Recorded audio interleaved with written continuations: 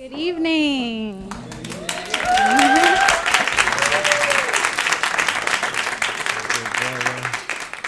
We are so happy and proud to welcome you tonight to the People's Inauguration. Woo!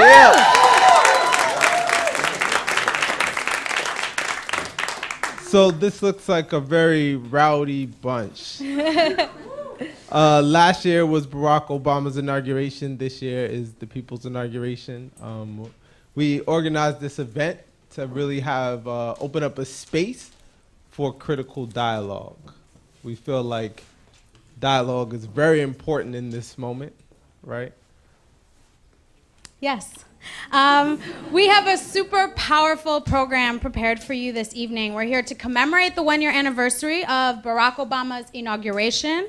And we're also here to celebrate the release of Kahlil Almustafa's book, From Auction Block to Oval Office.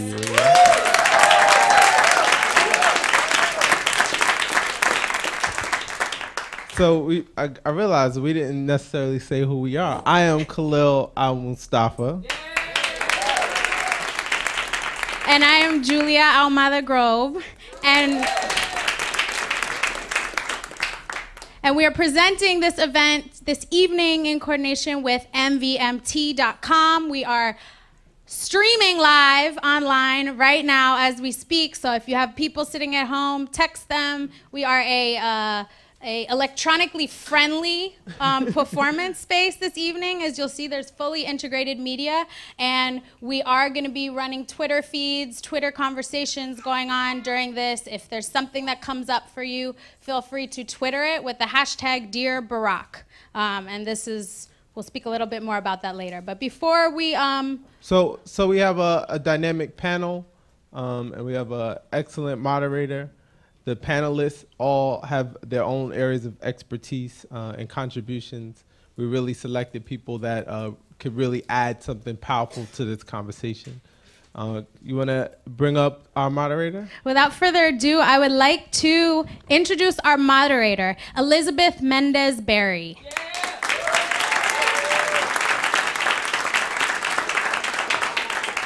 Elizabeth Mendez Berry is a journalist. Um, she is the author of The Obama Generation Revisited, an article that was the cover article of The Nation magazine on November 23rd, 2009. Um, her articles have appeared in The Washington Post, Vibe, The Village Voice, Smithsonian, and Time, among many others. She is also her, uh, the recipient of ASCAP's 2006 Deems Taylor Award for Music Reporting for her article on domestic violence in the hip hop industry.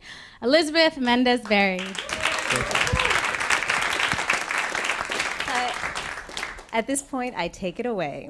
And so I'm going to be introducing tonight's panel. And first of all, just so you all know, the format for this evening is poetry and dialogue. And in our first segment, we will have readings from the 100 Poems collection followed by responses from each of our four panelists. I think you may know who some of the panelists are. Our first panelist is Michael Skolnik, who works with Russell Simmons and has worked uh, with people within the White House recently. Michael Skolnik.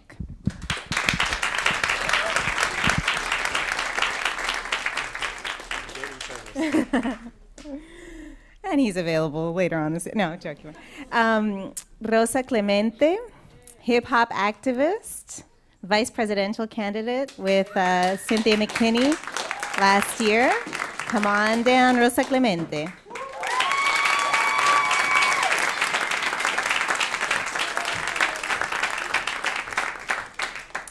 And our next panelist is Reverend John Vaughn, who's the program director of the 21st Century Foundation and an ordained Baptist minister.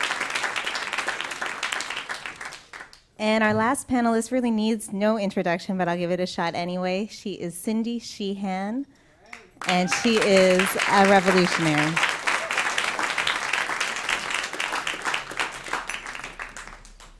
All right, so we're going to go right into our first segment. And actually, before it, let me tell you that the second segment will be a dialogue between the four panelists, and we'll conclude with a Q&A segment so that you all can ask questions. Um, so let me welcome Kahlil Almustafa to the stage.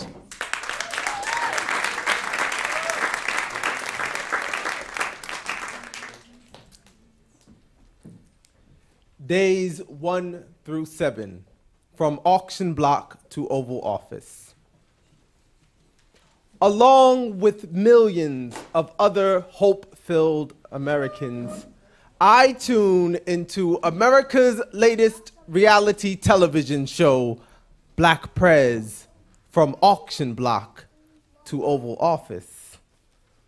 Martin would celebrate this victory and in the same breath speak out against injustice. I can hear his voice trembling, comparing the bombing of children in the West Bank to four little girls and an Alabama church. From the pulpit, he would say, Keep marching, and we would listen. The dolls are coming, the Obamas. Collect the whole set. Michelle, Barack, the kids, the dog. Limited time offer. You could own your first family today. I hope Barack Obama's presidency will help my family accept my wife. Maybe they will be able to imagine the possibility of a genuine black white love relationship. There is no memory of fire hoses in Barack Obama's DNA. No memory of women moaning at the bottom of slave ships and the crowds of millions gathered. There is no evidence of my parents ever being here. I am a survivor who dares to be a witness. Today I woke up with that Barack Obama swagger. I kissed my wife, scanned the day's news, hit my desk without missing a beat, greeted everyone by their first names, flashed smiles, shook hands, and dished out low fives when appropriate. I negotiated every encounter with yes, but how about this, and got my way. At the end of the day, I came around Secret Service picks and shot jump shots left handed, came home, played with my kids, and made sure my lady went to bed with a smile. This was no election. This was a pep rally for imperialism.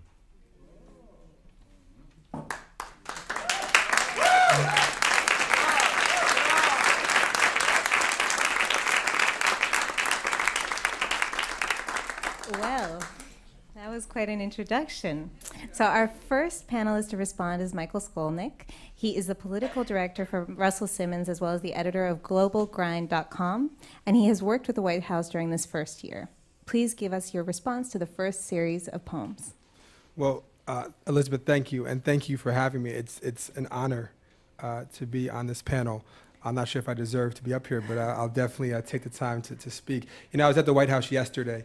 I just came back from D.C. this morning, um, and so there's a, and and I think um, and I also traveled to Haiti about 30 times over the past uh, five years. So there's a lot in my mind that I'll try to process, and so I think a lot about the Haitians as we have this um, discussion. Um, and then I was in the bathroom and I heard Tupac and it's like, it's like no more like, you know, Muzak in the bathroom. It's Tupac in the bathroom at WNYC, um, which is great. Um, and, and, I think a lot about hip hop. And I think um, when I was 14 years old and growing up in New York and, and having um, some pretty incredible parents who um, always taught me about respect and, and respecting other people. And, and, I remember there was a rally in, in, in DC um, for the National Organization of Women and I said to my brother, who was 16, I said, We're going to go. You know, we're going to get in a bus and we're going to go. And um, it was a, uh, a pro choice rally. And it was at the mall, you know, and, and it was on, at the Lincoln Memorial. I thought that's where Martin Luther King gave his speech, I Have a Dream. I got to go there. And I think we convinced our parents that we were going to, you know, to, to a, a Knicks game or something. And uh, we ended up getting on the bus and going to Washington and sitting in the mall um, and listening uh, to these incredible. And I remember uh, Marian Wright Edelman speaking. I thought, I want to be her one day. I want to grow up and be just like her. And then fast forward uh, many years later and sitting at the mall um, and waking up um, with my brother and his fiance at the time and my girlfriend and my best friend from California and walking at, at 4.30 in the morning uh, after going to a Bobbito event of a Stevie Wonder party the night before in D.C. and going to the inauguration um, and, and sitting in the mall uh, without a ticket, um, but with some uh, uh, peanut butter and jelly sandwiches and some hot cocoa and uh, waiting for the president to uh, you know give his inauguration speech. And I think from a young person's perspective and from you know the hip hop generation, there was so much enthusiasm that first day. There's so much uh, anticipation that first day. Um, and yes, uh, like my good brother uh, said, uh, this idea, this reality show, this idea that you know we're selling Barack Obama dolls. And I remember it being at the inauguration, like there was I don't know if I can swear, there's shit everywhere.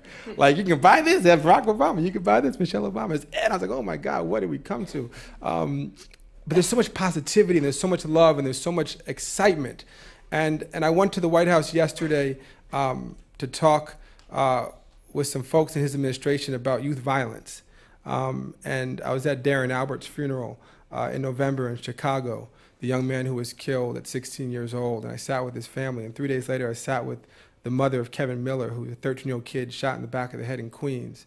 Um, and it sort of brought us back to reality um, that even though we have someone in office um, who um, has a lot of potential and has great intentions and um, is the best thing I've ever seen.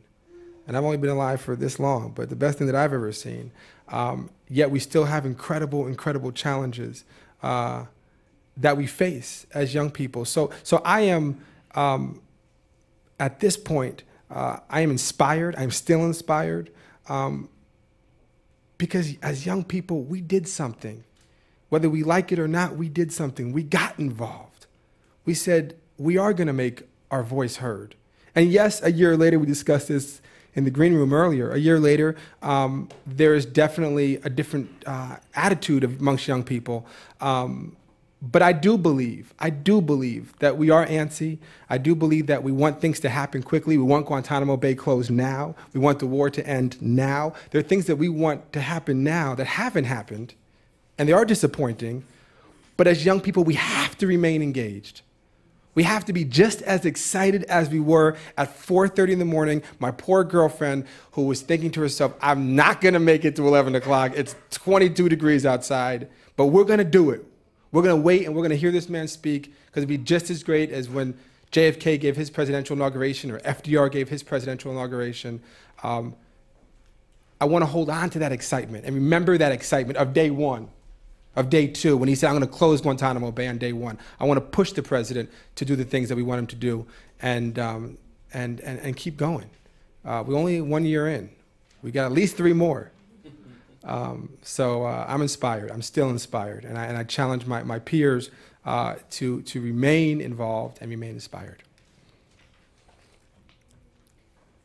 Um, oh, uh, we're actually going to go. Yeah. Sorry.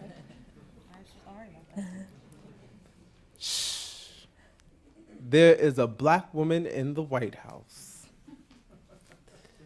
There is a black woman in the White House we have a first lady who finds a humble pride at hearing the name Sojourner Truth, has wept while reading The Color Purple, and laughed at coming to America. Grandma, I tried to honor your American dream. You instilled in me the basics of citizenship reading, writing, learning, voting, paying taxes and bills on time, home ownership and community service. I pay my taxes on time, Grandma, you'd be proud.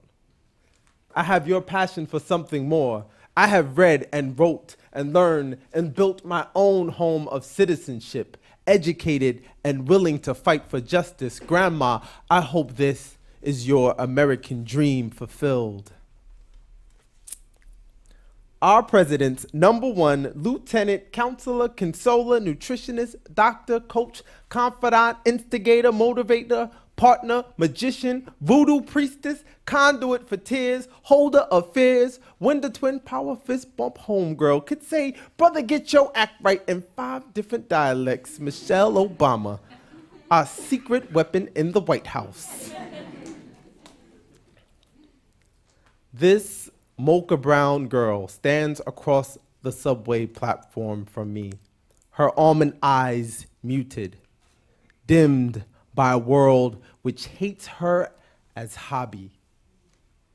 She speaks through Michelle Obama's face on a wordless button she wears over her heart. I am still not proud of this America, though, sister, I am proud of you. I know you were fabulous before the world had the opportunity to meet you. And if this country took another 250 years to recognize your existence, you would still be all the way fly. Today is Grandma's birthday. She was a conservationist before it was considered cool. She could get more cups of tea out of one tea bag than government stimulus packages can get stimulation out of corporations. Since I was born, I believe black women can control the weather. So I know our First Lady is cool, sunny days, warm, breezy nights, and heat waves and hurricanes if she has to.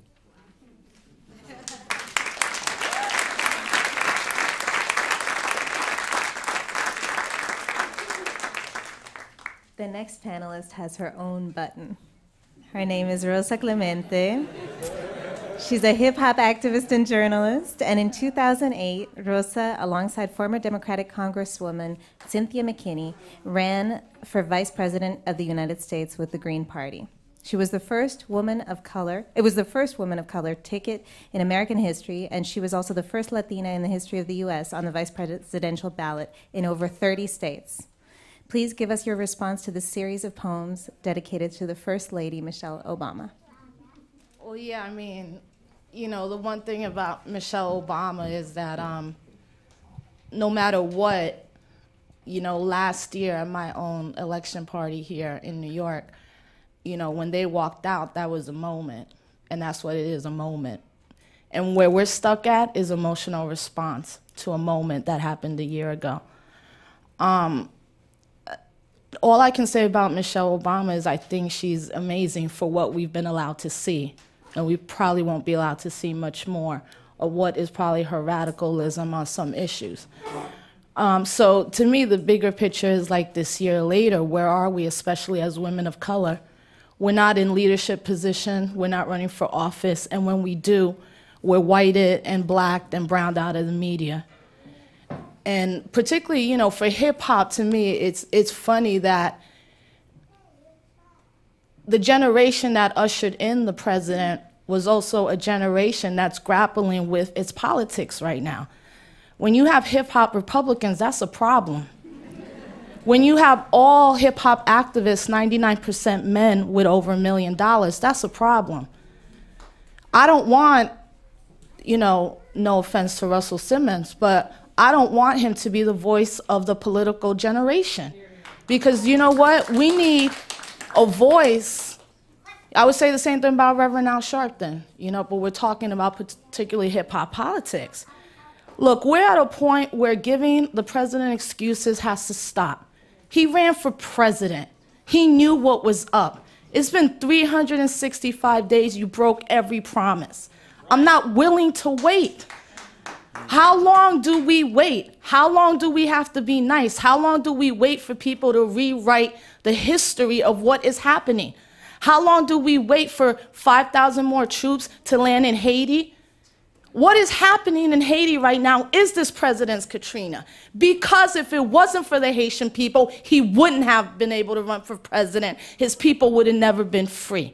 Mm. And to hear this silence, is disgusting. To see George Bush is disgusting. It's a slap in the face of people dying right now. Right? So we have to get away from the emotional response of how we feel right now, how we felt a year ago. Have the material conditions of working people in this country changed? Hell no. They've gotten worse and worse. No health care you said single payer, now you don't want single payer. You said transparency, now you're not going to let the healthcare debate be aired on C SPAN. You said you stopped the drones, you've doubled up on the drones. You said you wouldn't send troops in, you're sending troops in. You keep sending 100 million, if not more, to Israel on a daily basis, and that's the only money you're pledging to Haiti. it's not only time to speak truth to power, then it becomes then what has happened since the Barack Obama election that we as people in the movement now must organize. We've had racial reconciliation where particularly white people feel good about voting for a black president, but we don't have racial social justice. And when you don't have social justice, I don't care if you want to be my friend, I don't care about living in Flatbush next to you. I want the ability to eat, walk, and not worry about my man getting shot on the streets. Mm-hmm. That's what racial social justice entails, along with everything. So, you know, it, it's time for particularly to get out our mindset out of a two-party system. Do third parties have problems? Sure. Does the Green Party have problems? Sure, but at least the Green Party has no problem saying we believe in an end to war. We believe the people of Palestine should be free. We believe in reparations for Native American and reproductive rights. And by the way, um, President Obama, we actually stand by our statement that LGBTI people who want to get married should be able to get married. At least there's a party willing to do that. So now it becomes incumbent on us. A president is only going to do so much. JFK didn't do nothing because he felt bad for black people. He was forced. LBJ didn't sign a civil rights bill because he was nice about black people. He was forced. They assassinated Martin Luther King after he announces the Poor People's Economic Human Rights Campaign. All of this is a trajectory to the history of where we're at now. And, you know, particularly as a hip hop generation, I was disappointed.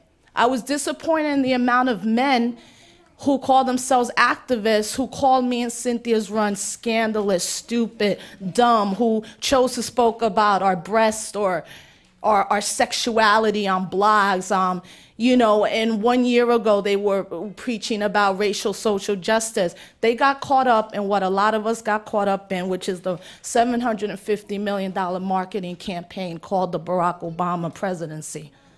Mm.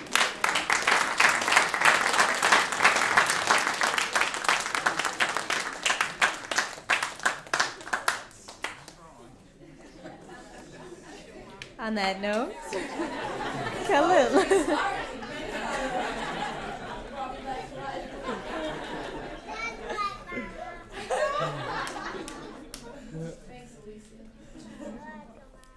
Days 15 through 24.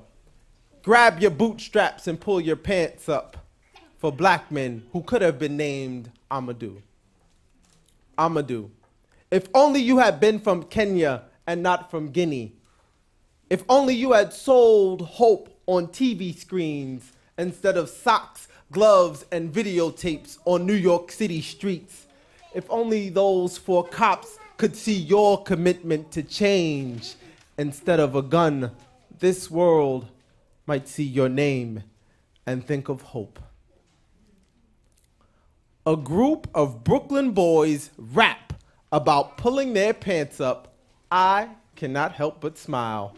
What would Mr. Cosby say now?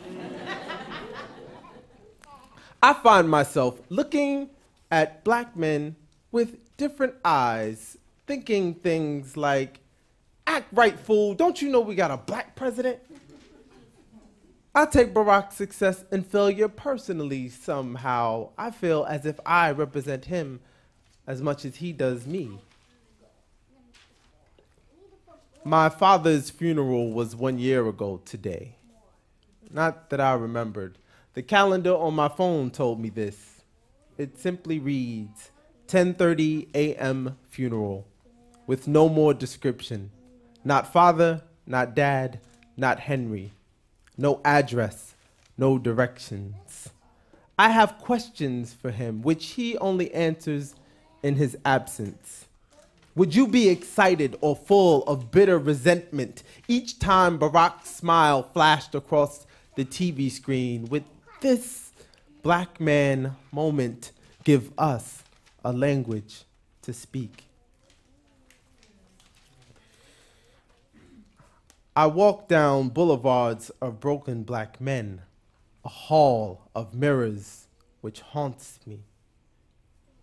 Barack you know you is a magic Negro.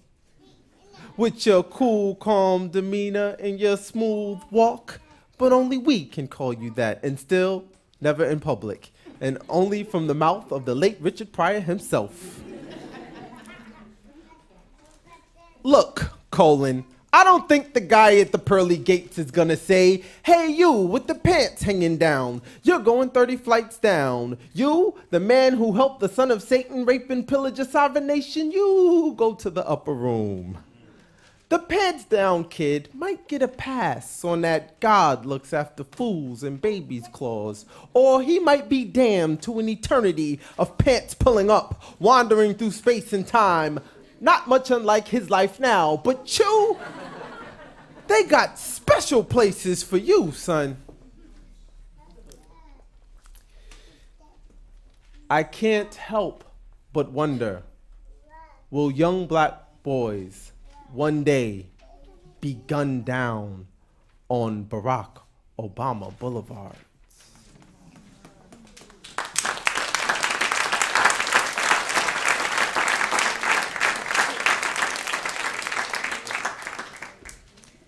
Barack Obama Boulevard. Wow. Okay.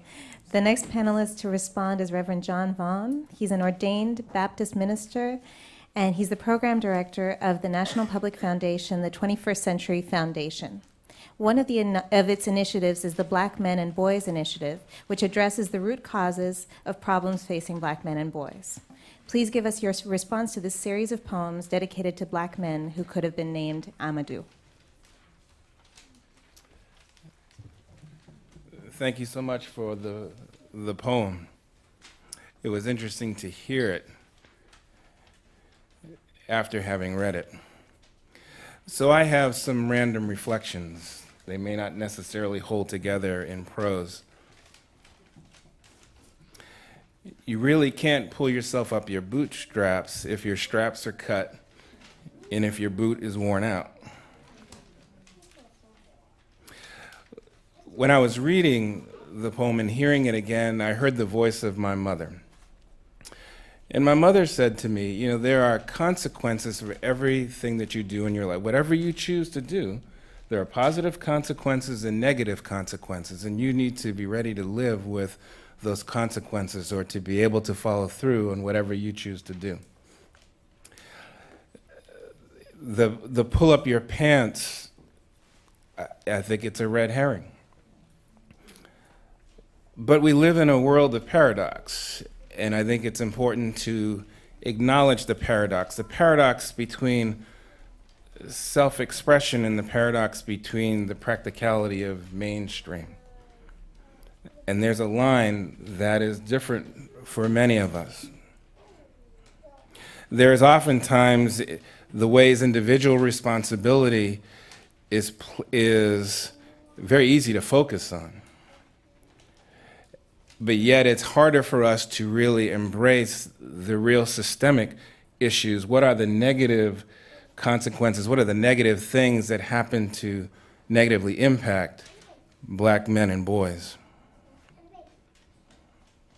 Community organizers talk about the world as it is and the world as it should be.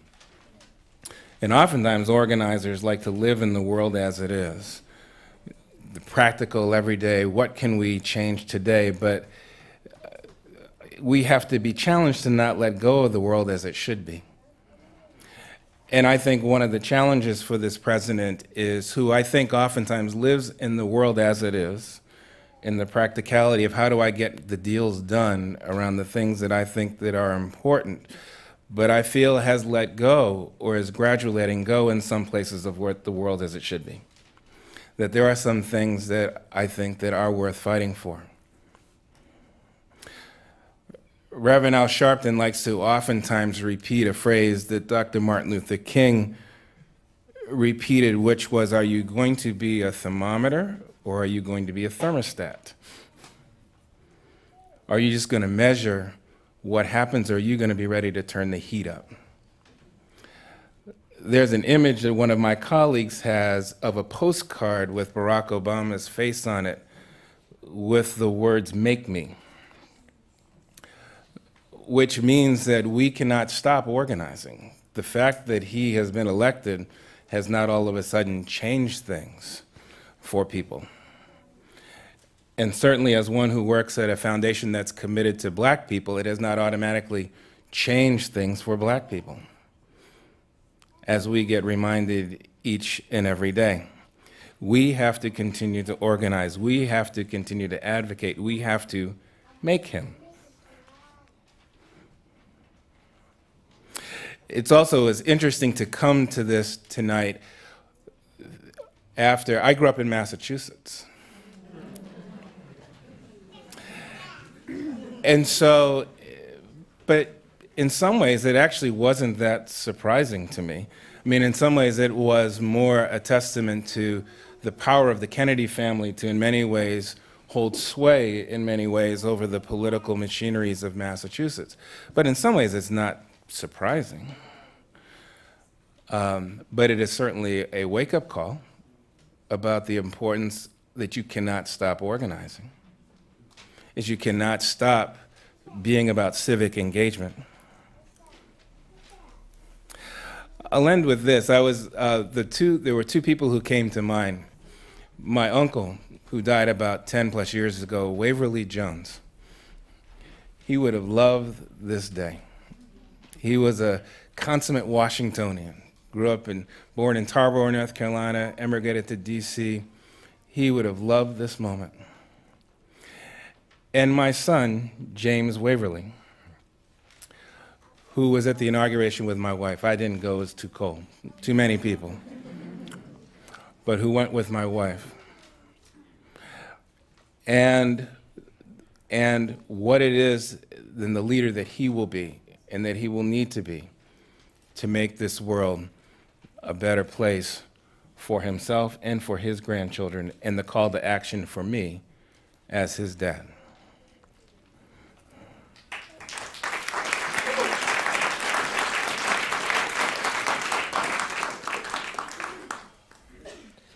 Days 26 through 39.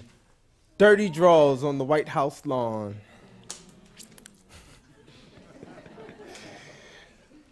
Who do we complain about now that the man is a brother? a 14 year old girl dies in the desert while walking alone to the Estados Unidos. No Liberty statue to greet her, offering to change her name from Joselina to Rebecca. She tells her little brother to walk ahead without her. He needs to be with Mama. And Joselina dies alone in the desert, an American. I do not think America is the best. And continuously telling me how bad it is in other countries simply will not convince me. if our soldiers' hearts could Twitter, would we follow their moment to moment updates? Being an American is like having an abusive lover who beats you and beats you and beats you and then buys you nice things. Last week, on the subway, I witnessed a middle aged, business suited white man laughing and joking with a young hooded, fitted cap black man who actually took one of his headphones from out of his ears. Is this the Barack Obama factor? Did black folk get a promotion? Or maybe white folks got demoted. Either way, I like it. This is good. She says Barack is her boyfriend. And I already know how this one goes. When a woman is this much in love, you better not speak bad about her man. She will shut you down, call you a hater, and stop returning your phone calls. So when she calls you to brag that her man shut down illegal torture prisons, do not dare mention the others that he missed or suggest he find the culprits guilty. She may hang up the phone and never call you back. And this last one is for Betsy, mother, mother-in-law. If America were a kid in kindergarten, would we tell her to share her crayons and stop eating all the cookies? would we tell him to stop to play nicely and stop being such a bully? At what point would we tell America to go sit on the carpet and take a time out?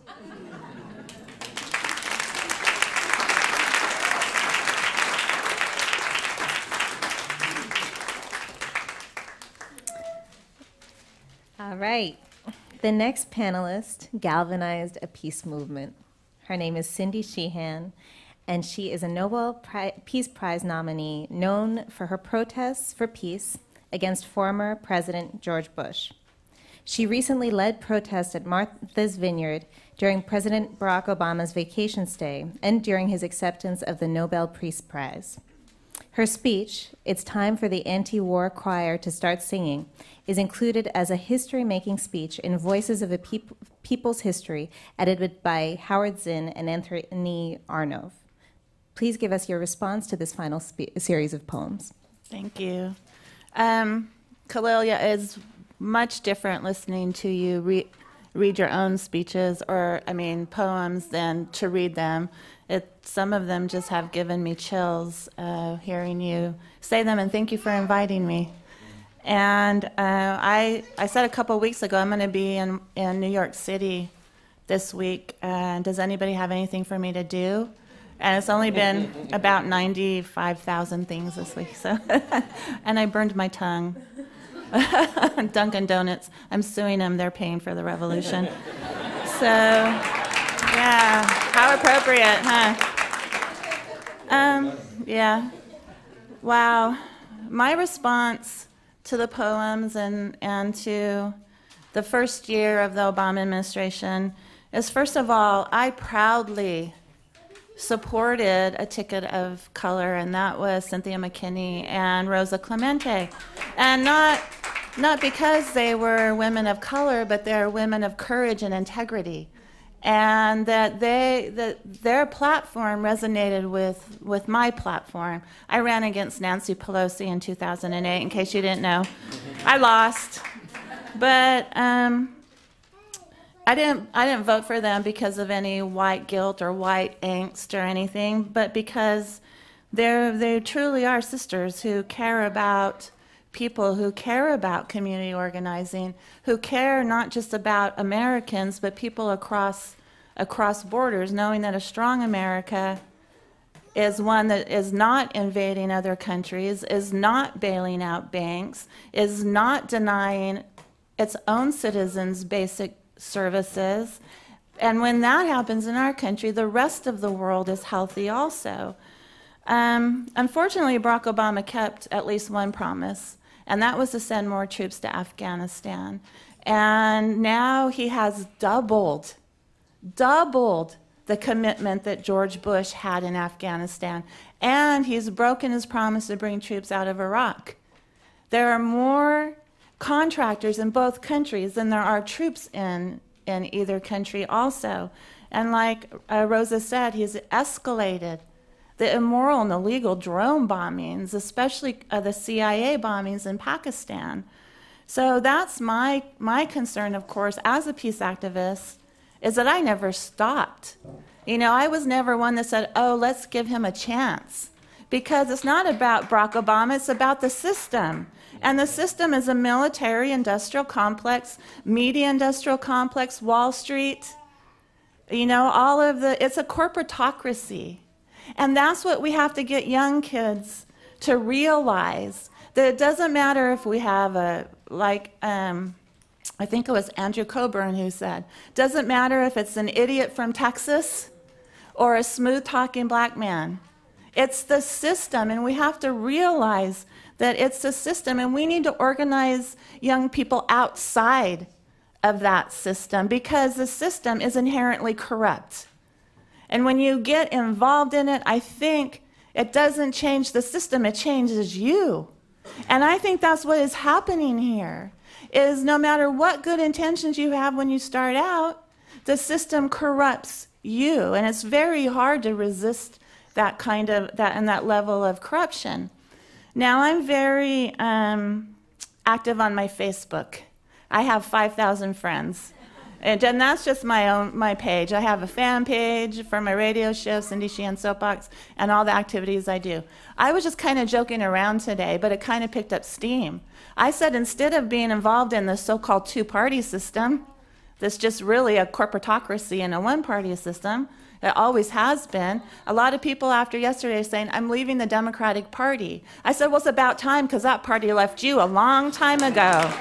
And and so I said, why don't we start the pot smoking hippie party, clothing optional, and, what, and, and that would be that would be like the anti-party, the party party, you know, where where we just drop, we, we just like get high and drop out. I'm allergic to it, so to, so pot smoking is also optional along with the clothing. And so, and so, what a wonderful way to say, you know, we can create our own healthy systems. We don't need a president, we don't need a Congress, we just need each other. And so I want kids to organize around that ideology, not a two party, corrupt political ideology. Thank you.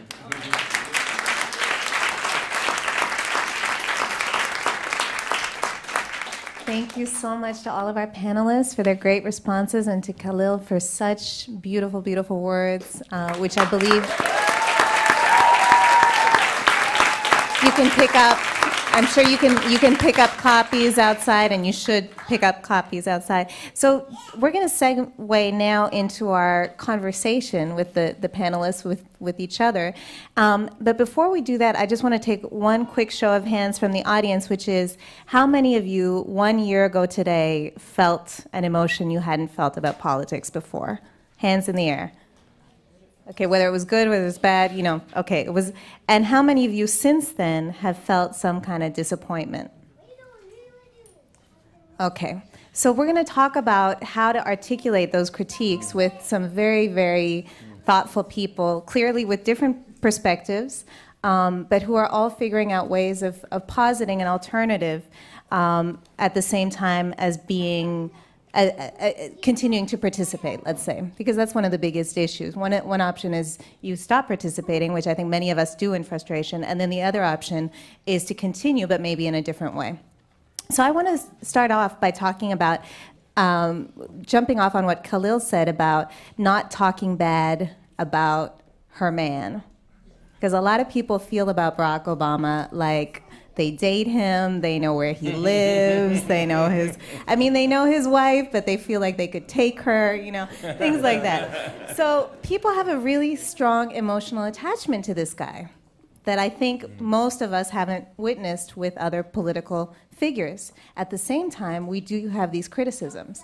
So I wanted to open it up to the panel and it, it, ask you all how you navigate those emotions, which are very real, and I think a lot of us have different versions of them, and at the same time, how you're able to bring a critique. And I think a lot of you have done this publicly, some of you are doing it more privately. So please jump in, whoever feels like starting it off. I think that, um, so a lot of our work is, I work with a foundation. And so a lot of our work is grant making. And so we're funding ranges of organizing, advocacy, and leadership development. And so, you know, one of the things that we, I think, attempt to do is to, you know, ultimately it doesn't matter who's in the White House. And I'd really pick up, I think, on a point that Sister Cindy had shared, which was, you know, it doesn't matter who's in the White House. You, you know, we've got to be about organizing and building some power.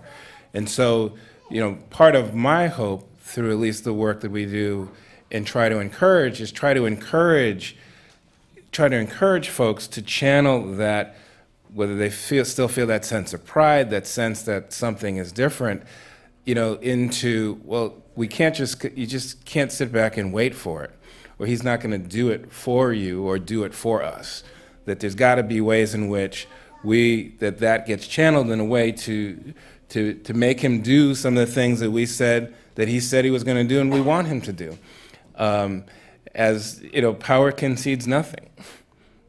And so I think that's so I think it's been important for us to, in our work, is is to say to folks, you need to channel this in a way, not just sit back and wait and take it, you know, but there are, um, there are places where we have to engage, and we may have to create some new vehicles, because some of the vehicles that exist, you know, aren't working for us. And so that we've got to maybe create some new organizations, create some new tables, create some new places, create some new ways to to civically engage, to to be about civil disobedience. But um, but we've got to be engaged and we've got to be active. And are you seeing them? I'm seeing some of it. I mean, I think that there are. I think that there is. I've seen at least in a lot of the black communities that we've been investing in that there is this new sense of possibility I think there is a, you see this interesting um, among our folks, the mixture of the inside outside strategy. Because there, there are some for whom are in the administration or no folks in the administration or two or three degrees separated, but also at the same point understand there has to be this outside strategy. So there is this, there's this inside outside dynamic and not always harmonious, you know, but you, there is clearly an inside and but there is, there is also this sense of all of a sudden there's a sense of access, for better or for worse, whatever comes with access, that folks felt like they just didn't have. Like you couldn't, like you were shouting and it didn't really matter because you didn't really exist for the last eight years for a lot of these groups. Rosa, would you like to add anything? Because I know that you're someone who's been very vocal about your critiques of, of Barack Obama, and at the same time also, you know, recognized some of the reasons why he's important. Yeah, I don't critique Barack Obama. I'm critiquing the Democratic Party that he leads. You know, mm. and I think that's the, the that's where we're at, particularly as folks of color. You know, um, but I also think that there's a lot of people organizing, right? And like a perfect example is the Tea Party movement. I don't care what people say. They've taken every strategy out of the 50s and 60s handbook. They obviously, at some level, of course, have white privilege that if you get youth of color, there's going to be a, a, slightly different response, or anarchists, mm-hmm. there'll be a, a, dis, a different response. And I think that's one of the things, right? Like, when people do try to engage in Congress, what's happening? They're getting arrested. You got to get a permit. Um, when you have a rally, you got to deal with the police now. You got to negotiate. You got to mm-hmm. sit in this block in this thing. What mm-hmm. they've done is is police state movement. You know, they've they've mm-hmm. they've done that, and so it bothers me when a lot of people say, "Well, it's up to us to hold them accountable. Well, every time we do, they're arresting us, shutting us down, imprisoning us, keeping us out of the media. Mm. You know, we have so called progressive media like the Huffington Post. Give me a break. Why don't you just say at this point you're moderate and you have access to the White House and you want to keep that going? You know, we have organizations you know, and, and there's a great article called the Nonprofit Industrial Complex. And that's part of the Barack Obama win, too, that you had a lot of these nonprofits who say they're nonpartisan, but a lot of foundations, if you look at who runs them, these are Democratic fundraisers. So, Campus Progress, really? Just say you're a Democratic front for the Blue Hawks. And the, you know, you're not going to invite a Cindy Sheehan. In fact, you'll disinvite a Cynthia McKinney to your future events. So, all that has to be taken into consideration. What that means for us is we have to figure out a way of getting ourselves out of this two party mindset and getting out of a mindset that a federal election is going to change. The system needed a Barack Obama at this point, or it was completely going to collapse. So, in saying that, just to finish this point, in saying that, it now becomes incumbent on us once we get out of that two party mind frame, not to necessarily think that voting changes everything, but to particularly civically engage now at a very local level, right? Like here in New York City, Paterson today announced he's giving $25 million back to the MTA student cards. Whoopee, they need 214 million. What do you think, 24 million is gonna pacify a million young people? I hope it doesn't. I hope that at least 10,000 young people decide it might be time for us to stand up because when they're taking away our ability for poor people to go to poor schools anyway, what is that? Well, Children's Defense Fund tells us that's the right straight school to prison pipeline that we're seeing for young people. So We need new innovative ways, but we also need a way of coming together around a politic that we can all engage at. And so, on the one thing that I was thinking about was just because there is this unique emotional attachment that I've certainly witnessed with Barack Obama. Um, even getting to the point of the policy, I feel like you have to get past those initial conversations where there are so many people who just feel like I can't even talk about a critique here right now. And Michael, you've worked more closely with the White House, and I know there are people who are there who have frustrations and concerns. Can you speak a little bit about how those are being discussed there? Is that something that people are being open about? Because obviously, not everything they're doing is working. Well, I think rather than discussing, you know, what's happening inside the White House, which I'm not there, so I don't think it's fair for me to discuss how they feel.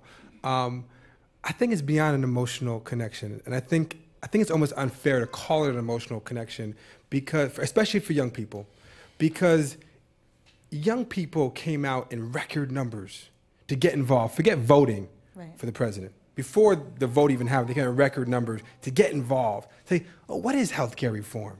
Oh, what is going on with this beautiful woman's son was killed? Where this? What's going on over there? Or what's going on in my community that I sort of overlooked before, but now I'm being challenged to look at? And to me, that's not an emotional connection. That's empowerment that young people are having now. And, and, and a year later, as we have these discussions, and of course we're all frustrated. Of course we want more. I want more, of course.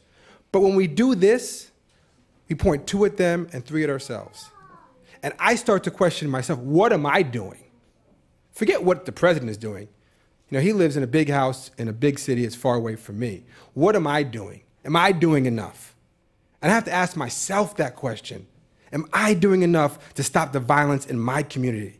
Am I doing enough to get jobs for young people that are unemployed? Am I doing enough to get young people out, out of the, the cradle to prison pipeline?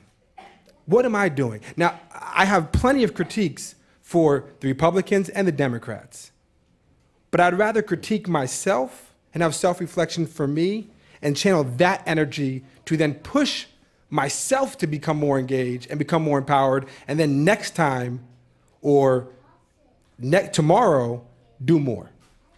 Right. And so, just to clarify with the emotional point, I mean, I think uh, I not to trivialize by any means, you know, the youth participation, because certainly in my own research, I found that young people weren't just getting excited about his charisma; they were getting excited about learning how to commu- organize within community, and that was something very, very new for them. So that's definitely, um, I, I, I feel you on that. I think my thing with the emotions is that there is a sense of ownership that is complicated. That is worth talking about. I think it's challenging. I mean, people So- think they can call Barack Obama because that's that's part of his appeal. Right. Like you feel like if I see Barack on the south side of Chicago, you know, yeah, I want to hang out with him.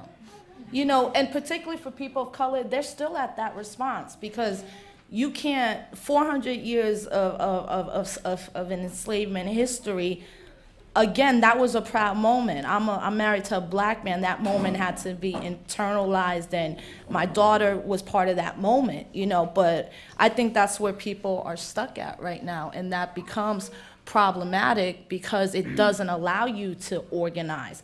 A lot of young people who participated, and the records also show, were also a lot of college students. And you know, part of that is then who believes then that voting will get them that structural change. Well, maybe they didn't want structural change. Maybe they just wanted to, to, to be part of history, but that doesn't mean that they became organizers. And I think that's one of the problems that we're seeing. So, and I want to jump to Cindy real quick. Um, you're somebody who critiqued very vocally George Bush and got a very positive response from a lot of the people who have hesitations about your critiques of Barack Obama. Could you speak about that a little bit? Um, I think the first six months of 2009 were like my loneliest months of ev- ever in my entire life because I went from, you know, in, in 2006, well, very shortly after my excursion to Crawford, and when the Democrats regained power in both houses, of course, a very slim majority, and when, um, you know, they were running actually against George Bush in 08. And so in 2006, I realized that it's not about George Bush, it's about the system, especially when you get Democratic leadership who told me in 05, Cindy, help us get elected, we'll help you end the war.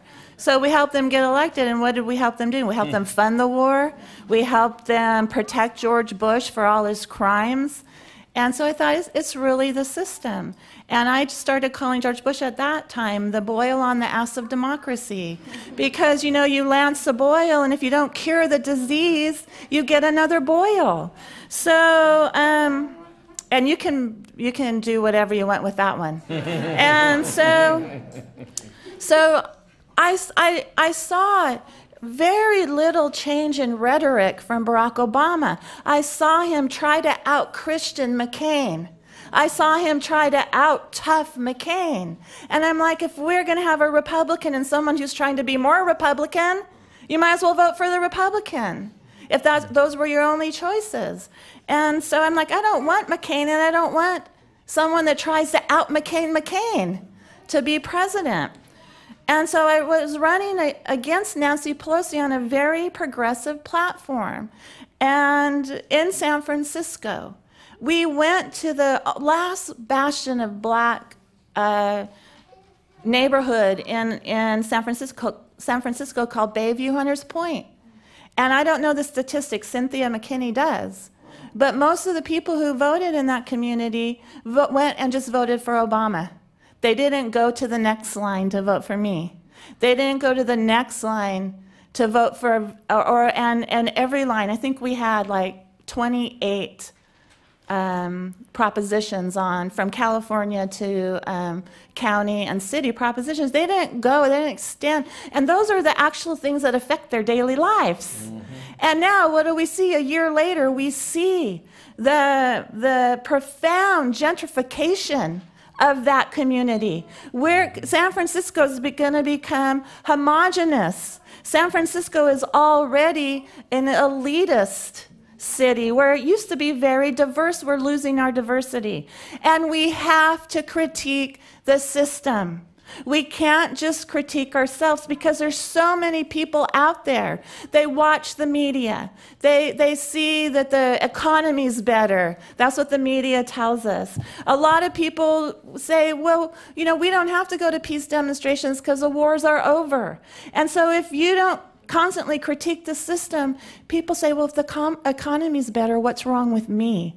It must be me. No, it's not. It's the mm. system. And that isolates everybody. If we think that we're the ones with the problems, then we're isolated from people who we think are doing better than us. So, constantly, uh, self reflection is great and we should all do it. But we also have to have vocal voices critiquing the system.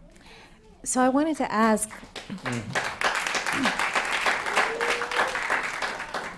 In the course of, of reporting the story that I did for The Nation about young people who worked on the Obama campaign, I found that a lot of them are now working in kind of community doing community work, not necessarily doing political work.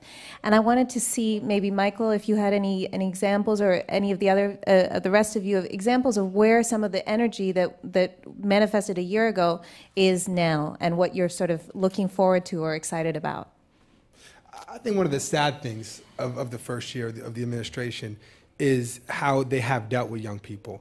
I think there's so many young people who were involved in the campaign and I wasn't one of them. I mean, I didn't work in the campaign at all.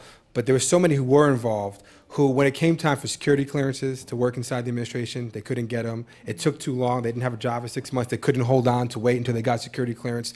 And because of that, a lot of the young people sort of dispersed and have gone in different directions. And I don't think that the administration has yet come out with a very clear agenda of how to work with young people. I know they, they built their Office of Public Engagement to a much larger staff under the previous president, but it hasn't yet really worked uh, uh, hand in hand with young people. So, so I am still inspired by those who are doing work previous to this president, those who are doing work previous uh, to President Bush in the community. Um, and I do believe, and I, and I do agree with Cindy, um, we do have to critique the system, but also I think that we have to continue to push the, the, the, the, the systems that we've created in the community um, that can do just as much change, if not more, than the president. All right. I, I would pick up a little on that and say I think that for some, I think for some organizations, the context has changed. Like there may be some more people, but do you feel that there is more a sense of hopefulness that you can actually get something done than necessarily they felt, you know, two, three, four years ago. And that I think is that is that I hear, I hear that differently, you know, from grantees. I, I want to just I want to do pick up on one of the previous points around the system because I I was struck by one of the um, in the poems one of the words you talked about was listening to Martin Luther King. And, and I forgot who referred to it, but you know, folks forget. I mean, Dr. King was not well embraced when the civil rights movement started. And when he came out with that speech that linked militarism, poverty, and racism, you know, at Riverside Church, um, I mean, the New York Times and many, just they, they and many others just disowned him, and they said, "You have you have gone off the deep end. What is your problem?" Well, they were yeah, that's right, and they were ramping up the energy, and that there are some who would argue that. I mean, my, I used to be one of the ministers on staff at Riverside, and Dr. James Forbes, the former senior minister, he would say, you know, what got him, what got Dr. King killed was when he started organizing poor people. You know, and so I'm not sure that we would listen to Dr. King today. Mm. I'm not sure. I think that, you know, which is why I think when we celebrate the King holiday, we get very much stuck on the dream speech right. and do not spend a whole, actually, we spend no, no time, time. right. really talking about that critical, and when he really drew those connections. And that, you know, like to me, that is really, to me, that is the, that's the important critique of the system, and that, to me, what needs to really power our organizing and our engagement these days. Or when he wrote the book Chaos to Community. Right. Where he's like, you know what, integration, cool. That's not my. That's not the issue now. The issue now is poor people. You know, and that mm-hmm. book really shows like Malcolm's transition. You know, Malcolm wasn't dangerous in the Nation of Islam. He becomes dangerous when he has a meeting with Patrice Lumumba. Mm-hmm. You know, he becomes dangerous when Che Guevara talks about him at the UN. So listen, on that note, we're gonna we're gonna close the panel and open up for Q and A from the audience. So uh, we have folks who are going to be going around with microphones, and if you want to put your hands in the air and wave them like you just don't care. I have one quick thing to say about Obama and young people. In October of 09 was the first time in, I believe, six years that the military met its recruitment goals. Is that Obama's mm. job program? Well, not mm. green jobs since he's Choice. Hi. Uh, on the subject of jobs, um, and people are talking about you know getting active and pushing Obama and all this other stuff. There are people who are trying to be employed you know, or without work, so it's a little difficult, I think, for people who are trying to find jobs to go and try to get Obama's attention. You know, they're not thinking about trying to get Obama's attention. You know, they're not writing letters to him or whatever. And from the most part, it seems as though the only people that peop- that Obama will listen to is a lobbyist. Right. You know, somebody who will help him do what you know function during his next campaign or whatever. So, what are your what do you advise for people who are trying to find employment and want to be active or are frustrated with what's happening at the same time? Um, I, I have a real quick thing to say about that. You know, when I said that joining the military was Obama's jobs program, I was just half kidding. Maybe I wasn't even kidding. Mm. But you see, that's why people are joining the Taliban because they pay $8 a day and they don't have jobs. So, what's the difference between joining the U.S. military for a job, for health insurance, for an education benefit, when health insurance and education should be free and um, available to everybody in this country, but then we wouldn't join the military if that happened. Now, speaking about Martin Luther King Jr.'s Poor People campaign, I have a flyer here. I'm starting something in Washington, D.C. on March 13th called Peace of the Action, P E A C E of the Action. and we're going to build a camp on the Washington Monument. We're going to call it Camp Out Now. And not only are we going to be an anti war camp, but we're going to invite people. Washington, D.C. has an enormous homeless, jobless population. As the population grows, the services cut, get cut. So if, as long as you don't have a job, you know, a bus ticket to DC from here is $13, or you can hitchhike. Um, well, maybe not. And, and come. We will feed people. You, you can stay at our camp. You know, and every day we're going to do actions to shut down the streets, the offices, the buildings. And I don't have any access. I didn't have any access to George Bush. I was in Washington, D.C. on Saturday with a bullhorn at midnight saying, Wake up, Obama, bring our troops home. So if we can build that kind of a movement that Dr. King dreamed of, and envisioned and and to not just help poor people but to end the wars ending the wars will bring jobs it'll bring services and that's what we have to concentrate on So let me just encourage everyone to keep their responses quick, just because we want to get to as many questions as possible, and also the questions brief. Anybody else have anything to add to that? And capitalism. Like, you know That what? was that was that was. you know, we need we need to start saying these things. I mean, we're on the cusp of having a movement that could end capitalism.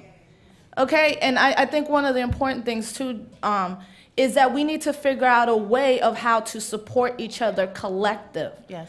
at this point. Mm. Because no matter how many jobs come or how many promises over this green job movement, which to me is just poverty pimping once again, for the most part. And if he was serious about green jobs, he could at least kept Van Jones, you know. But he got rid of him and Yosi Sergant. But yeah, I think one of the things is how do we collectively help each other out in these moments? And lastly, to realize many of us, especially us who went to college or like me, I grew up middle class, like South Bronx and Westchester. I'm not middle class. And I had to look in the mirror one day and say, there is no middle class. You're not part of it. Get rid of that facade in your mind. Because then that makes a clear delineation, uh, uh, uh, uh, a, a, a marcation, a line of how and what we organize about. We're not middle class in this country anymore. We're working class and the elite. Yep. And I just also want to acknowledge that Kahlil is on the stage, and you can ask him questions as well. Next question, please. Hi. Gentleman in the back. Uh, I think uh, two, two elections just went by that I think are very important. Uh, Bloomberg got elected, and um, uh, what's the uh, guy's name in Massachusetts? Scott Brown. Brown. Brown got elected. Brownie. Now, uh, I, I, I think they're important because it, I think it shows that people are really getting out of this thing that um, somehow uh, we're stuck with the Democrats because uh, if we don't vote for them, then uh, we're going to wind up with something uh, even worse. So when uh, when Bloomberg got elected, despite all the billions of dollars he put in, uh, he got elected mainly because most people just didn't vote. They were so disgusted, they just didn't vote. And despite that, he still just squeaked through, despite his money and everything else. Now, what happened in Massachusetts? Can, I, can I ask you to get to the so question? the so the question is this: um, Do you think that it is really possible? I mean, to ch- uh, change the Democratic Party uh, from within, to uh, keep pressuring Obama and the Democrats to change. If we keep supporting the Democratic Party, if we keep voting for them, aren't they just going to take us uh, take us for granted? So I would love to jump in. Um, I, I, I- I had a, a radio interview this morning, and the host continuously asked me, you know, what was I still hopeful about Barack Obama, and I, and and I'm not thinking about Barack Obama, even though I wrote 100 poems. I'm not thinking about for purchase outside. I'm not thinking about Barack Obama um, for to think about Barack Obama. I'm thinking about Barack Obama to think about people and to think about myself to reflect what's going on with me and what's going on with people in the world, right? So as far as just if we took this New York City election with Bloomberg, right? If we had already uh, relationships with a substantial population in New York City who we could get to mobilize and go out there and, and, and, and, and support whatever candidate we believe needs to be in office, then that's what we would we would have been able to do. You know, how many? There's a bunch of teachers in here. I work with young people. You can't go to young people and say, well, you know, prop, propaganda. You can't be like, look, you, this is what's wrong. This is what's wrong. You got to build a relationship right? And that is the grounds for development with, for, with them and the development of an analysis larger. You can't try to give them an analysis, you know what I mean? And I think too many times when we engage our communities, we are engaging them with our analysis, like, look, this is the answer, right? And then they don't get involved and we're like, what's wrong with them? Um, the, the party party, just very quickly. The party party, the pot smoking um, hippie party, clothing optional. Our slogan is revolution because at this point, reform's too hard. If I, Michael. if, if I could just say something to that point, um, I thought one of the great line I thought the president said in his acceptance or his the night of the inaugur- the night of the election um, was that this is not the change that we seek, yet the opportunity to make the change that we want. I think for a lot of us, like the Reverend said before, we felt because we elected him, the change happened. And so we forgot about Billy Thompson in New York that lost by four points, yet he got outspent 10 to 1. We forgot. We didn't show up. We said, oh, we're good. We got the president. We're good. So I do think we have to take a moment and say, wait a second, the work has just begun. Let us keep doing the work. I don't think people forgot. I just don't think William Thompson inspired the people. you know, again, you're, you're, you're going back to the Democratic Party.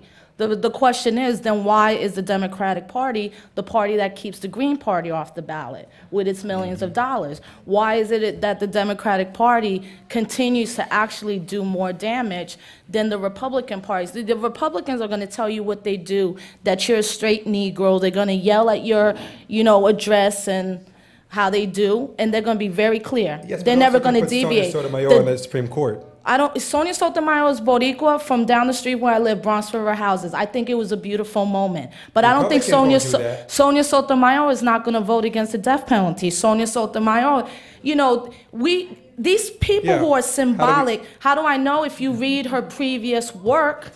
Then you know that most likely she is going to tend to vote against ending the death But she'll penalty. keep the woman's right to See, choose. What She'll about keep a woman's right to choose. That's not enough for What women. about Mumia? That, what about Mumia? What about making Puerto Rico? What about you talking I- about Puerto Okay, Rico guys, being I'm gonna independent? take, Yeah. let's take another question. Let's keep the, They're moments. These are symbolic moments. These are not people that are changing the material conditions. Okay.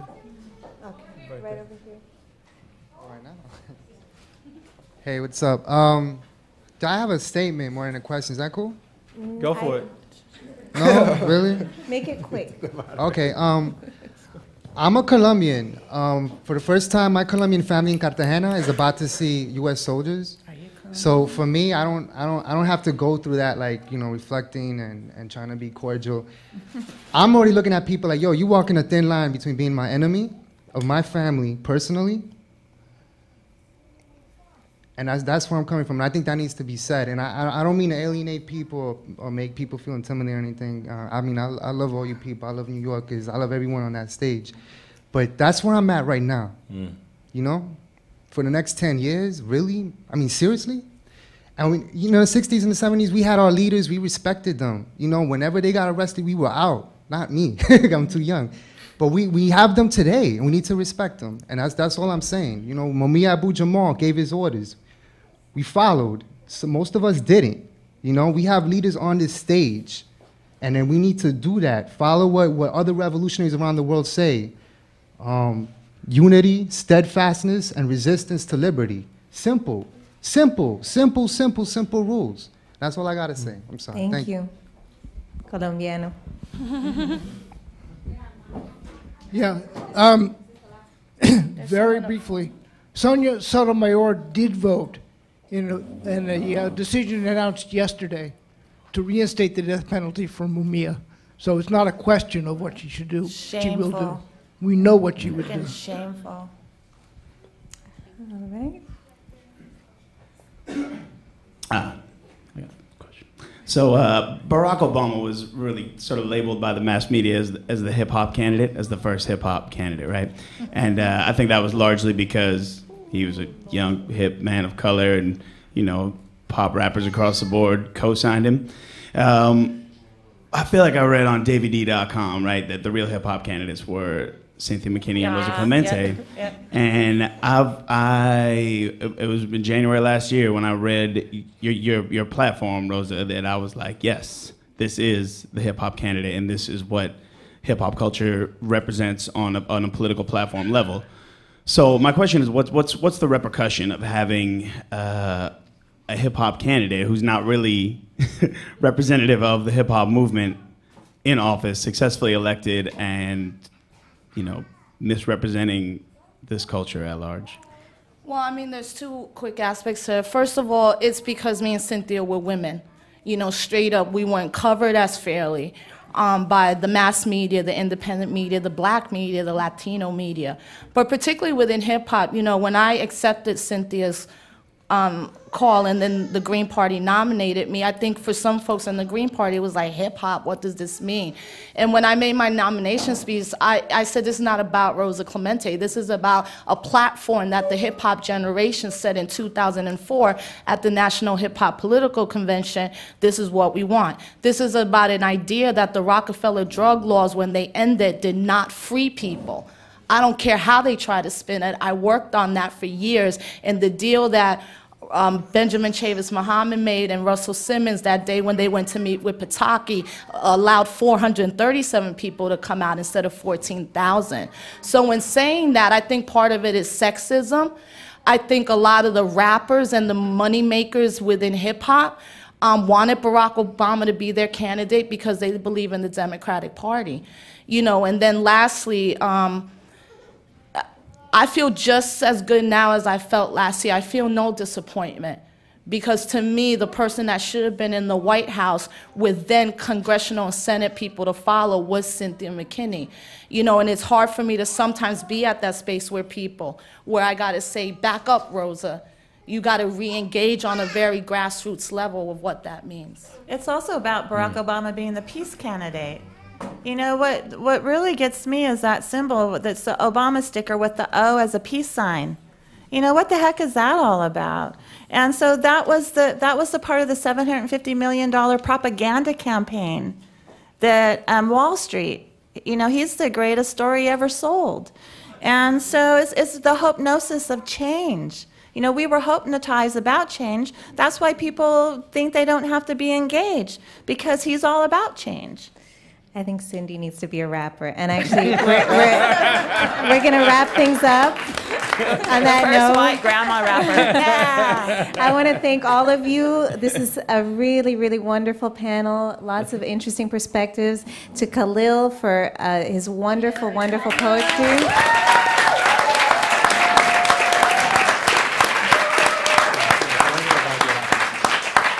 Okay. Michael Skolnik, thank you so much. Would you like to add anything? Any closing remarks? I know I'm the only one here who support Barack Obama, but it's, uh, it's, it's, I think, it's, I think it's a, there's, a, there's, a, there's a very healthy debate. And, and what, I, what, I, what I, I take from this and what I learn from this, and, and I appreciate uh, the, the really incredible remarks, um, is that uh, we're all on the same team. We all want a better America. We all want a better communities uh, that we live in. Um, so I appreciate, uh, uh, um, Rosa, what you said, uh, and, and the Reverend and Cynthia, um, because it makes me a better person and, and, and, and challenges me. So, so thank you. All right.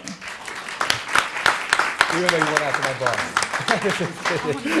Miss Rosa Clemente. Listen, homie, I'm gonna tell you something. I went after your boss in 2001 when I proudly wrote an article called "Russell Simmons is not hip hop," and it's not. It's not just about Russell. It isn't. And I just want to say a couple things. My professor, Dr. Gordon, always taught me we debate ideas and not people, and that I would like an end to America as we know it. And then lastly, on the flip side, I did neglect to say that within hip hop, some people that had some media power, like a Kim Osorio, who was with Global Grind and also BET, or Jeff Johnson, purposely put themselves on the line to make sure a message got out. And that needs to be appreciated. Talib Kweli supported Barack Obama, but he wrote a song for me and Cynthia. That's to be supported. And then there were a lot of people within Independista Puerto Rican communities that said, Rosa, I know you're on the ballot, but you know me, I ain't voting in this system. But that they still support the work that we're trying to do. And I think I agree with you that at this point we're all in this together, or we're like, it's like laws live together, die alone. Reverend John Vaughn. I think that a lot of what is, um, what's actually going to be called for is more courageous action. Um, and that I remember once, I remember once preaching a sermon um, that talked about organizing, when you really are organizing, it actually is a life and death activity because when you're actually really beginning to make a change, you may get taken out. And so I think that we need to be under, no matter who is president and who is in what place, we need to be under no illusions that this will not, the challenges that we face are going to call for some courageous action you know, not just among the people that sit on this stage and some of the others, but courageous action by many of us. And, and so I would leave that as a call, not only, you know, as I preach to myself, but I think a call for all of us. It is a time for courageous action. All right. And now I want to thank Cindy Sheehan. Um, well, you know, it is courageous because I, I've been at protests, and the protests I'm going to now, the police state is getting scarier. I was at the G20 in Pittsburgh. I got tear gas, I got shot with a sound cannon. They shot at me with rubber bullets. Lucky for them, they never hit me because I would have been, oh, no, you didn't. I'm gonna, you better have a backup real bullet in that gun because I'm coming after you. But um, I'm not even kidding, you know? How, how dare you? How dare you protect the ruling class while members of your own class are out here trying to exercise our freedom of speech. You know, I said in the green room, what a wonderful world. The world's only going to change when they turn their, their faces to them and away from us and help us put them in jail. Help us arrest George Bush, Dick Cheney, and all the ruling class elite. That's when the world is going to change. But anyway, I got kind of off on the on a tangent there. Come to Washington, D.C. if you can come for a day, a week, a month, or until the troops start coming home. Come to um, Camp Out now for Peace of the Action. Be with us because the, the robber class, the ruling class, they want to divide us. They want to make make us think that we're more different than we are the same. It's called divide and conquer. So we need everybody out there. I, you know, I need you standing with me because the, they know we have numbers. We have 300 million people, and they have a few thousand. So stand together. And so, on that note, it's time for some action. And so, we're going to have Kahlil talk about his, uh, read his open letter to Barack and then uh, he will take it from here. So, uh, because of time, we're gonna actually uh, skip that the letter part. In the beginning of the book, um, I wrote a letter to Barack Obama, um, and we have a campaign now that we're launching to get people to write letters to Barack Obama. And one of the reasons is we want people to re-engage. We feel like a lot of people once uh, he was elected, disengaged, and we want people to re-engage. And we we don't take this moment lightly. It is it is something happened when you have a, a black man become the president of the United States of America with the history of the United States of America. That that was a moment um, that was weighty for all of us. You know, what what ways did we process that? Wh- What ways did we deal with that? You know, um, what if we all took a took a moment to stop and write a, a, a poem about the moment, or a hundred poems, or or write a letter about the moment? Um, and it's just really a just a way we think people can just re-engage right in the conversations. So um, you saw some people wrote their their baracks. We have a website, dearbarack.mvmt.com. Um, and we're just gonna do a couple poems, right, to finish out. Okay. So um, we have a lot of thank yous. We have a long list of thank yous. I'm gonna try to be quick. Could we give a big round of applause for our moderator, Elizabeth Mendez Berry?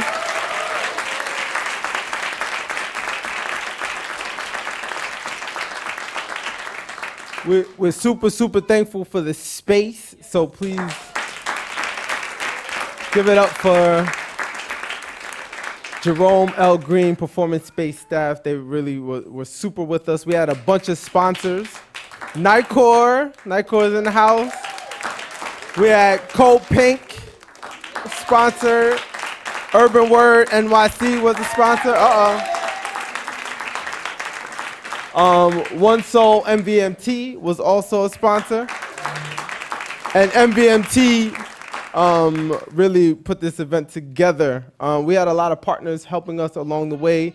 Orlando Brown, Michael Cordero, Chelsea Gregory, Sarah Gregory, James Bartlett, um, Justin, Caitlin Meissner, who did the, the artwork. She's in here.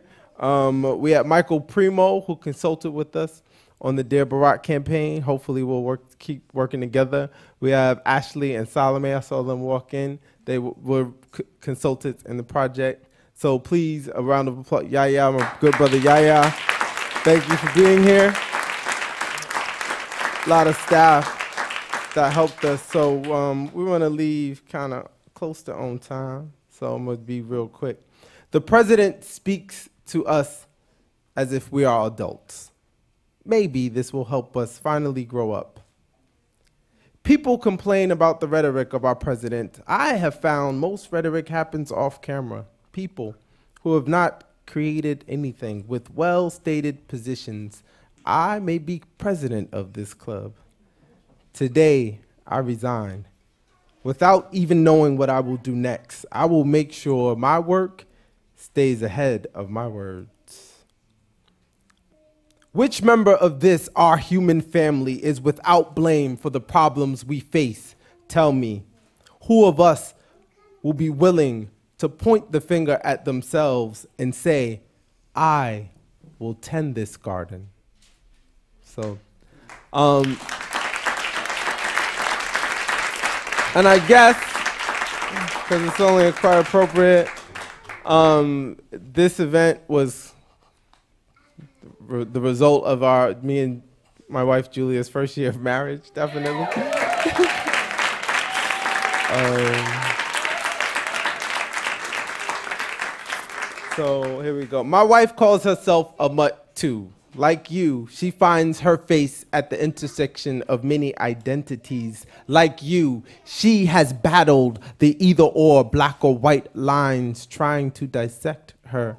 Like you, she lives in the both and neither, claiming all of who she is. Maybe Barack will be future slang for multicultural and proud. So that's what you do. Thank you. The people's inauguration. Thank you very much. Um, let's please give one last round of applause to our panel. Um, oh. And you could definitely buy books on your way out. And you should. And you should. And, and write a letter.